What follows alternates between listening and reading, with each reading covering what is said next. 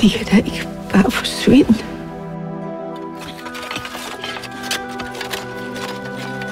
Vi er Hvidesnilsøstrene. Jeg er Tulle. Det er min søster Gerda. Ja, da hun er kun 17 år. Jeg ved ikke, hvordan det skal gå. Nat og togfanger, det er fanger, der forsvinder.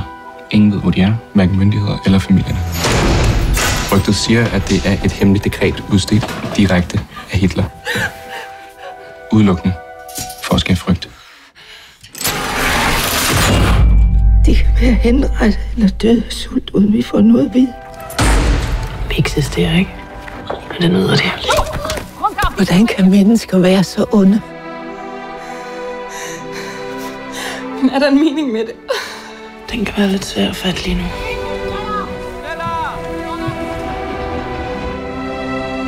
Hvad siger du, når du ser morgen? Jeg ser dem derhjemme.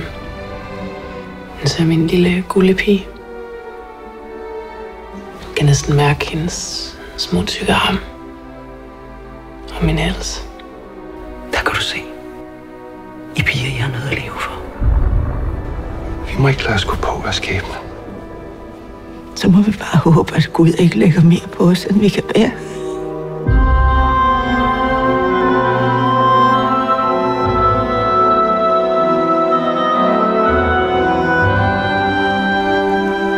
Jeg skal nok få dem hjem. Hvordan vil du fejre befrielsen? Jeg vil tage en knaldrød kjole på. Og så vil jeg gå op og ned strøget. Hvis man ikke tror, så er der ikke noget håb.